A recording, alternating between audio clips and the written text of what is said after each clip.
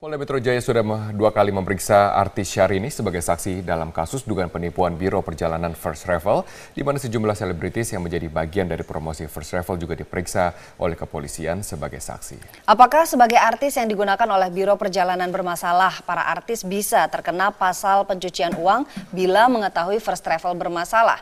Untuk menjawabnya, sudah bersama kami di studio pakar hukum pidana Suparji Ahmad. Pak Suparji, selamat malam. Terima selamat kasih malam. sudah bersama kami. Ini kita ketahui kasus First travel terus bergulir dan artis-artis yang pernah uh, digunakan jasanya gitu atau sebagai endorser first travel um, diperiksa juga. Uh, jumlah uang yang dihabiskan first travel untuk para artis itu bukan kecil. Ada yang mengatakan 1,3 miliar, ada yang 108 uh, juta rupiah. Nah, apakah artis-artis ini bisa juga terkena pasal uh, TPPU atau tindak pidana pencucian uang? Ya, pertama bahwa pemanggilan artis yang hari ini adalah Syahrini mm -hmm. Itu dalam rangka membuat terang benderang kasus yang menimpa First Travel ini. Mm -hmm. Sampai sejauh ini ada dugaan penipuan, penggelapan dan tindak pidana pencucian uang. Yeah. Mm -hmm. Prosesnya terus bergulir dan kemudian polisi menelusuri siapa saja yang pernah terlibat mm -hmm. dalam jasa First Travel. Mm -hmm. Dan Syahrini faktanya adalah pernah mengikuti umroh jasa yeah. dari First mhm. Travel dan menurut informasi hari ini dari kuasa hukumnya membayar reguler, kemudian dapat hmm. fasilitas VVIP, hmm. mengeluarkan yeah. biaya. Dan kalau pertanyaan Mbak Vita Dikal, apakah bisa dikenakan tindak pidana pencucian uang? Hmm. Maka memang itu perlu penelusuran lebih lanjut. Hmm. Yang penting adalah polisi bertindak secara profesional, hmm. mengumpulkan semua alat bukti. Kalau pada hari ini yang didengar keterangan dari Syahrini atau kuasa hukumnya tadi melalui media, maka mungkin saja perlu telusuri dari pihak-pihak first travel saja. Pak Suparji, apa yang harus ditelusuri atau ya, untuk membuktikan bahwa sebetulnya pencucian uang itu yang pertama adalah bagaimana ada niat jahatnya mm -hmm. untuk mencuci suatu uang yang berasal dari kotor menjadi uang itu seolah-olah halal. Mm -hmm. Jadi ada proses mencuci. Misalnya uang itu berasal dari penipuan, mm -hmm. kemudian biar seolah-olah halal, mm -hmm. bersih, mm -hmm. maka digunakan untuk jasa-jasa tertentu. Tapi ini dari pemilik kan Pak, bukan dari artis yang sebagai pihak yang digunakan jasanya. Ya, yang kedua, dalam konteks ini siapa saja yang bisa terlibat, maka dimungkinkan ada peran membantu turut melakukan hmm. kalau dalam hal ini pencucian uang. Misalnya, apakah memang dari awal artis-artis ini mengetahui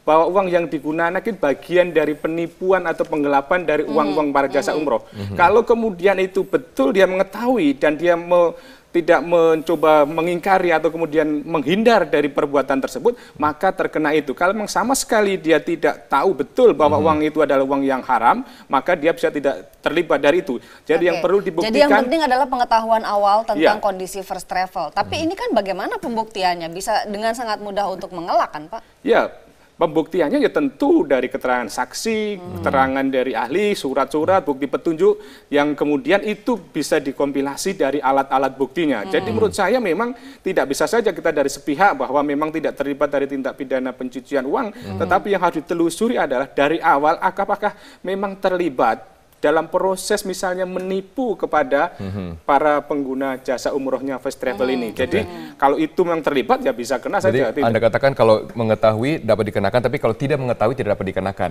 Ya. Tapi apakah harus mengembalikan uang yang telah diberikan oleh first travel kepada mereka?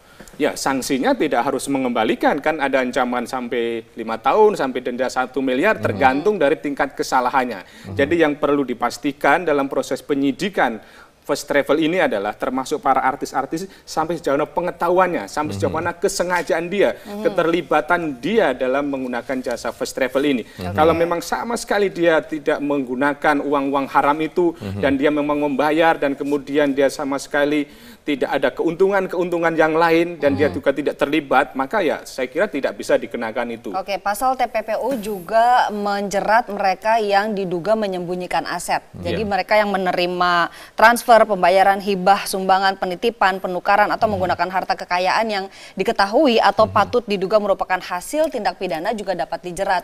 Nah, kalau pasal yang ini yang uh, diberlakukan apakah bisa terkena juga? Ya, itu bisa dikenakan karena hmm. berarti yang bersangkutan misalnya artis ini termasuk bagian yang menikmati, hmm. bagian dari tempat untuk penampungan uang-uang kotor tadi itu. Hmm. Maka jelas konstruksinya kalau memang itu yang terjadi. Cuma masalahnya keterangan hari ini tidak menunjukkan itu. Hmm. Bahwa sama sekali tidak menerima sepeser pun apa pun dari first yeah. travel dia mengeluarkan itu jasa versi dari, versi dari itu. Tetapi kan tidak berhenti di situ hmm. gitu. Hmm. Faktanya adalah bahwa ada uang ratusan miliar yang kemudian hmm. belum bisa ditelusuri hmm. oleh first travel itu okay. uangnya ke mana saja dan hari hmm. ini sebetulnya untuk membuat terang benderang kasus itu. Oke, okay. apakah Anda menilai polisi mencari di tempat yang tepat? Karena alasan dari kepolisian adalah ada kerugian mencapai 800 miliar yang tidak dapat dijelaskan ke mana larinya. Apakah itu tepat? Jika polisi mencari kepada para artis yang secara um, kita lihat kerjasamanya adalah kerjasama untuk promosi.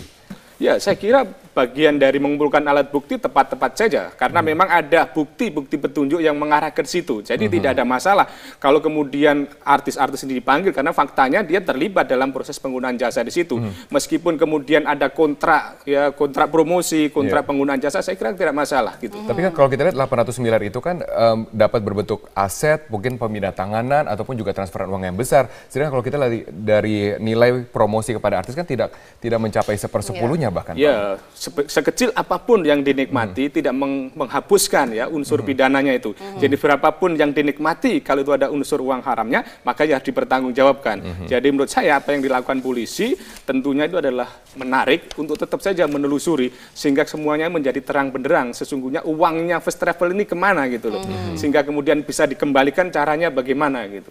Oke, baik Pak Suparji, terima kasih banyak uh, sudah bersama kami dan terima juga kasih, atas informasi. Penyanyi Syahrini kembali mendatangi Bares Krim Polri di Gedung Kementerian Kelautan dan Perikanan Jakarta Pusat. Informasi selengkapnya akan langsung disampaikan oleh rekan Trianisha dari Bares Krim Polri. Selamat siang Nisha, keterangan apa yang akan disampaikan Syahrini di pemeriksaan keduanya kali ini Nisha? Ya, pada pemeriksaan saksi yang kedua oleh Syahrini, penyanyi ini yang merupakan saksi dari kasus First Travel. Pada hari ini Syahrini datang didampingi oleh kuasa hukumnya Hotman Paris Utapea dan akan menyampaikan atau menjelaskan beberapa hal terkait dengan bahwa Syahrini ini tidak mengikuti umroh dari First Travel secara gratis melainkan hanya mendapatkan diskon sebesar 50% dengan dengan uh, gantinya bahwa Syahrini harus mengunggah foto pada saat dirinya sedang umroh di akun Instagramnya. Dan kemudian tadi juga Hotman Paris mengatakan bahwa Syahrini ini tidak menerima uang sepeser pun atau uh, sekitar 5 perak pun dari pihak First Travel. Syahrini ini justru mengeluarkan biaya hampir 200 juta rupiah untuk mengikuti umroh dengan menggunakan jasa First Travel. Diketahui bahwa Syahrini ini juga pergi bersama dengan 11 anggota keluarga lainnya dan yang pada awalnya diduga bahwa First Travel ini membiayai seluruh keluarga anggota keluarga keluarga Syahrini pada saat umroh, namun Syahrini membantah. Ia mengatakan bahwa ia hanya mendapatkan diskon sebesar 50% untuk dirinya dan 11 anggota keluarga lainnya ini dibiayai oleh Syahrini dan inilah biaya untuk 11 uh, eh, anggota keluarga inilah yang disebut hampir mencapai 200 juta rupiah. Dan berikut adalah pernyataan selengkapnya dari kuasa hukum Syahrini, Hotman Paris Hutapea tidak pernah membayar lima perak pun. Sorry, maaf. Sehari ini tidak pernah dibayar lima pun.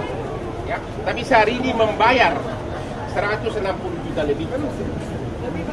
Ya, 167 juta. Sampai 200. Sehari ini membayar sampai 200 juta lebih. Ya. Sehari ini tidak pernah terima uang 5 perak pun dari First Travel. Ya tadi Syahrini tiba di gedung Barreskrim sekitar pukul 11.50 waktu Indonesia Barat dan ini pemeriksaan kedua karena pada pemeriksaan pertama kalinya ini ada kegiatan keartisan Syahrini yang tidak dapat diganggu gugat maka pemeriksaan tersebut dilanjutkan pada hari ini dan kami masih akan terus menunggu apa hasil pemeriksaan kedua bagi artis Syahrini. Untuk sementara demikian Widya kembalikan dari studio. Baik, terima kasih rekan Trianisha melaporkan langsung dari Bares Krim Polri. Selamat kembali bertugas. Kita pemeriksaan terhadap penyanyi Syahrini baru saja selesai dilakukan dan berikut pernyataan Syahrini usai pemeriksaan. Dan saya tidak ada dan saya tidak ada setelah saya kedatangan saya yang kedua ini. Semoga saya tidak ada lagi sambut paut insya Allah dengan urusan ini. Semua sudah jelas semoga cepat selesai yang belum berangkat semoga dan nggak perlu perlu dipertegas. Iya. kalian nggak usah pusing karena first travelnya sendiri first travelnya sendiri tidak pernah mengaku bayar sehari ini uang tunai lima perak pun.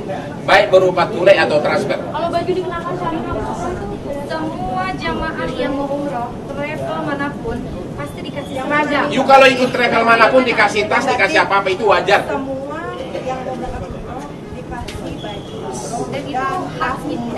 Semuanya. Dan itu begitu selesai apa di, di, di foto, langsung disimpan di, di tas dia karena you tahu dong princess kan maunya lebih. Oke, sekali lagi kita udah bilang bukan icon, bukan endorse. Dan bukan gratisan. Oke, bukan endorse. Sekali lagi salah. Orang yang mengatakan itu endorse itu adalah kalau dapat honor, ya, itu baru namanya endorse, ya kan? Dan honor dia itu rata-rata minimum satu miliar kalau di endorse. Sekarang tanya kepada dia ada nggak lima perak pun dia tidak pernah bilang ke penyidik bahwa dia terima uang tunai. Malah dia bayar cuma diskon dari harga ekonomi, budget ekonomi naik menjadi harga bisnis. Regular, ya regular. Regular naik menjadi ya memang pajak ekonomi itu regular. Hmm. Dah, dah, dah. Dah, dah, dah. Cukup, cukup, cukup. Ya itu tadi. Jadi sistem kerjasamanya teman-teman sekali lagi ya. Jangan ada tanya doa ke Ali Bidir ini capek. Jadi sistem kerjasamanya adalah dengan saya membayar yang ditentukan oleh first travel 200 juta lebih saya kewajibannya memposting dua kali dalam sehari di Mekah sehari nah foto atau video di Mekah, Madinah dan Istanbul Sekiranya pun diterapkan rate profesional itu juga nggak salah. Ya memang itu profesi dia kan. ya akan oleh akan teman kita ya saya ketemu saya bilang saya mau umroh kira-kira kita ada pembicaraan sejauh ini sampai saya berangkat saya memilih akhirnya dengan travel ini dengan kerjasama ini dengan eh, apa inti-inti yang dalam suatu kerjasama itu di semua saya berniat begini. Jangan teh sebenarnya saya itu nggak mau apa sih lu ibadah pakai di pakai ada kerjasama kayak gini. Uang keluar negeri itu sendiri kita sekeluarga selalu sendiri nggak pernah ada yang fasilitasi apa pun.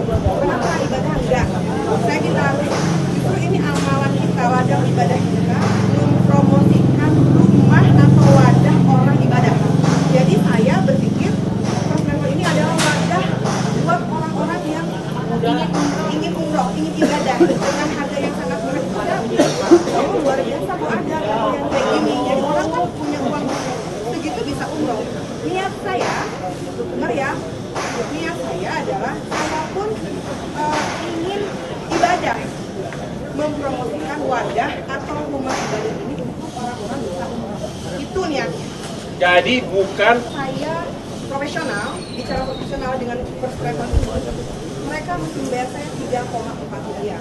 Satu hari satu Tunai, kali posting, tunai. satu kali posting 100 juta. Itu adalah kebijakan dari manajemen dari saya pribadi. Satu posting di Instagram share ini 100 juta.